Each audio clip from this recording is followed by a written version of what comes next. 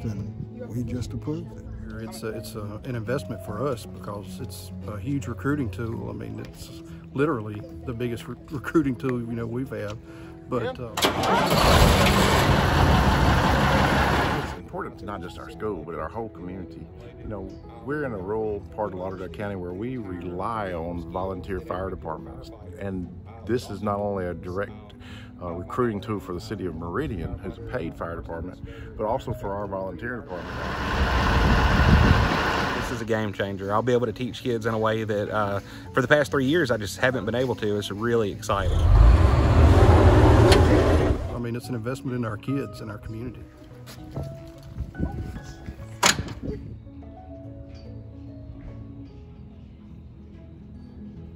Well, I think it's important because it helps the community as a whole, and we are all one community, and this is an opportunity to show that. We're excited to be able to work with it hands-on and uh, learn more stuff about it. How you feel about it?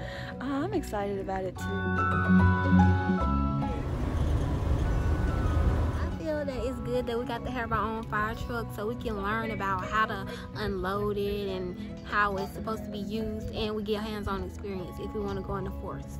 I do want to be a firefighter. Yeah, I'm pretty interested in doing it and like having a firefighter like at school where I don't have to really reach out to anybody. I can just come to high school and they, they show me here Right. is pretty good.